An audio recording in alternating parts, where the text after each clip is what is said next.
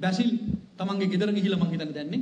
එයා දැන් ගෙදර ගිහිල්ලා එයාට කිසි වගකීමක් නැහැ. මොකද්ද මේ විහිළුව? පවුලේ දේශපාලනේ මෙහෙයපු මිනිහා අද වගකීමක් නැතුව රටෙන් තමන්ගේ ගම්බිම් බලා ගිහිල්ලා තියෙනවා. රටේ ජනතාවට මේ වගේ ඉරණමක් අත්දලා තියෙද්දි මෙහෙම මිනිහෙකුට රට යන්න පුළුවන්ද? මේ මුදල් නැමැති හරිනම් හිරේ යන්න ඕන. මේ කරපු අපරාධයට.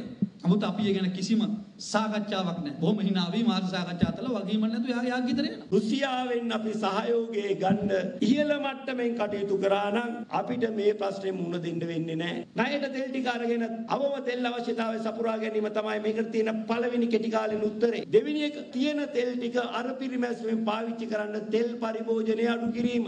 අපි මෙච්චර දැවැන්ත තෙල් අර්බුදක ඉන්නවා.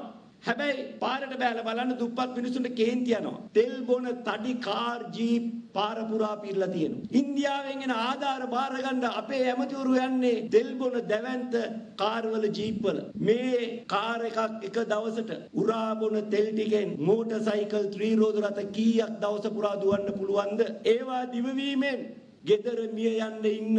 පාර මැද මිය යන්න ඉන්න. අහිංසක අම්මලා තාත්තලා කී දෙනෙක්ගේ ජීවිත බේර ගන්න පුළුවන්ද? එහෙනම් අද අවශ්‍ය වෙන්නේ දේශනා පැවැත්වීම නෙවෙයි සරල ජීවිතය ගැන. මුලින්ම CC 2000ට වැඩි වාහන පාරට දාන එක ආණ්ඩුව නිල වශයෙන් තහනම් කරන්න ඕනේ. එහෙම කළොත් විතරයි මේ තියෙන සීමිත තෙල් ටිකෙන් ජනතාවට ප්‍රයෝජන ගන්න පුළුවන් මට්ටමට එන්නේ. තිබෙන තෙල් ටික කළමනාකරණය කරගත්තේ නැත්නම් මුළු රටම නතර වෙන්න ඉඩ තියෙනවා. අපි රුසියාවේ තිබෙන තෙල් ගැනීමේදී අඩියක් පස්සට තියාගෙන කතා කරන්නේ මොකද කියලා අපිට තේරෙන්නේ. ඉන්දියාව රුසියාවෙන් තෙල් ගන්න, තායිලන්තය ගන්න, සිංගප්පූරුව ගන්න.